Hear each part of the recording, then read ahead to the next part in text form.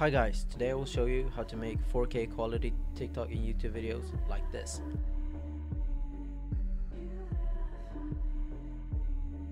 But before, I want to thank everybody for 1000 subscribers. It's really motivating seeing your support on all my videos and I want to thank everybody for the support you've been showing. If you like these videos, please leave a comment, a like and don't forget to subscribe. I'm not going to waste your time anymore, let's get into After Effects. So the first thing you need is a good quality scene pack. I use 4K scene packs, but HD scene packs also works. To get scene packs, you can get them from Instagram accounts and Discord servers. I won't provide any, but it's pretty easy to find. When you have your scene pack, you make a composition here, and this is my resolution that I usually use, which is 1440 by 1600. You don't have to copy this, you can use whatever you like. I would recommend that you use 60 FPS even though TikTok and Instagram and YouTube don't upload in 60 FPS, please use 60 FPS. Once you're done and you have your clips, as you see here, I've made some clips of Thor. You need to make it look good because as you see, my clips are a bit choppy. So to do that, you just select them all and put on motion blur, which makes which makes the clips have motion blur, and then double click frame blending. So looks like this. And what, frame blending does is it makes it so your clips are 60 fps and as you see now it's much more smooth. And sometimes at the end of your clips and the beginning of your clips your frames can warp.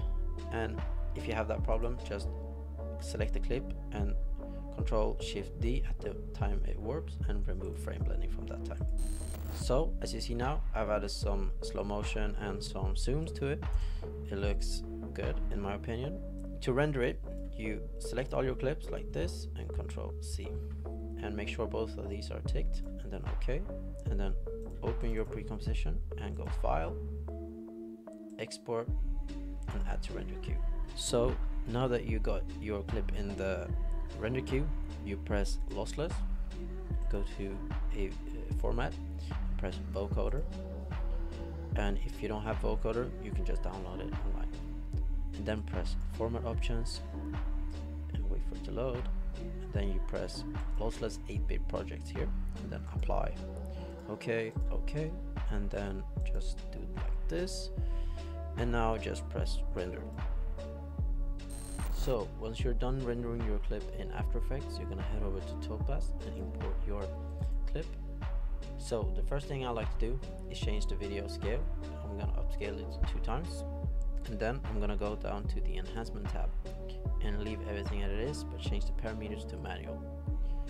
And my settings that I like to use is I like to use 50 for this one and I like to use 75 for recover details and 20 for sharpen and 5 for reduce noise and then minus around minus 95 for anti-aliasing but keep in mind that you have to change your settings depending on your clip's quality.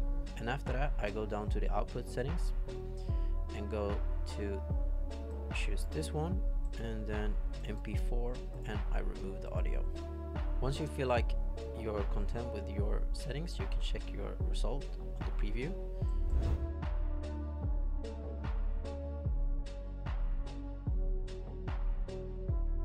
So as you see now, my preview is done rendering. And you can check the result by doing like this. And if you feel like your result is good you can go down to export as and then export your video like this and wait for it to render as you see here I've imported my clip from Topaz and you're just gonna drag it above the other one and you can delete this one but as you see the side the clip is a bit too big so press S and go to this and change it to 50 and once you're done with that you're gonna add the effect RSMB to it. And what RSMB does is it adds a bit more motion blur and makes the clip look a bit smoother. So we're gonna change this one to 0.75 and drag this one to all, all the way to 100. And as you see now, it's really smooth. After that, you're gonna select the clip and press Ctrl Alt Y to add an adjustment layer. And then you're gonna apply my CC by going to select, select your clip go to animation, apply animation preset, and go to CC Spearmint. And here you have it.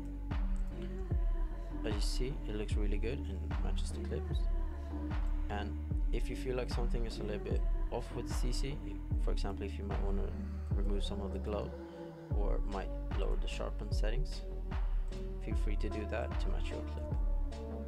And after that your edit is almost done. You're just gonna do the same thing as last time. You're gonna cut the adjustment layer right here at the end of your clip and then you're gonna select both of them this and then control shift C. Make sure both of them are ticked. Okay and then open this one go to file export and add to render queue and here you're gonna go to lossless press Voukoder format options and then press this one same as before. And then you go to OK. and this and then press render